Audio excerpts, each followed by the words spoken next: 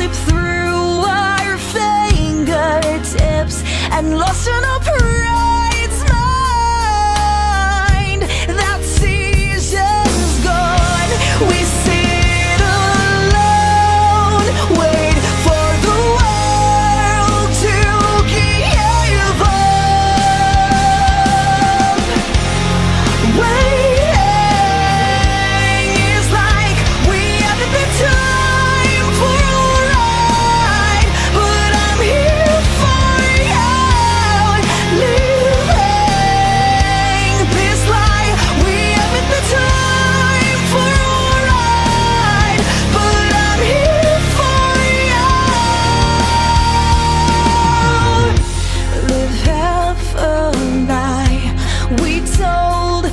to grow.